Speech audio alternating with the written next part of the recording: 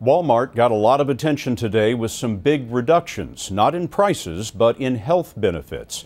Part time employees it hires in the future will not qualify for health insurance if they work less than 24 hours a week. And that's not all. Wyatt Andrews tells us America's largest private employer is also raising premiums for full time workers.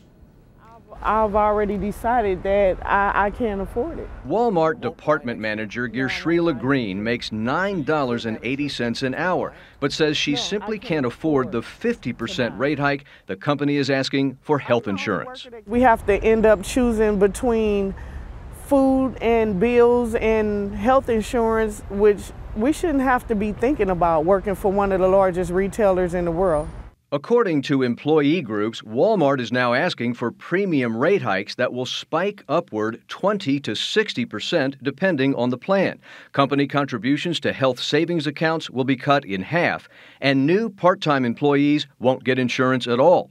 Walmart, in a statement, blamed rising health costs, calling the cuts and increases all choices we wish we didn't have to make. However, healthcare costs are expected to rise around 5.5% next year, and healthcare analyst Larry Levitt says Walmart is asking for premium increases that far exceed that. This is really out of sync with what's going on in the rest of the health insurance system. This looks like an effort by, by Walmart to cut their costs and shift expenses to their employees. I'm going to go without insurance or either apply for county Medicare.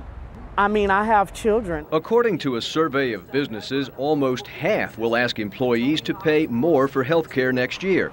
But experts do not expect price hikes as steep as Walmart's. They see Walmart, the company known for rolling back prices, making a business decision to roll back benefits. Wyatt Andrews, CBS News, New York.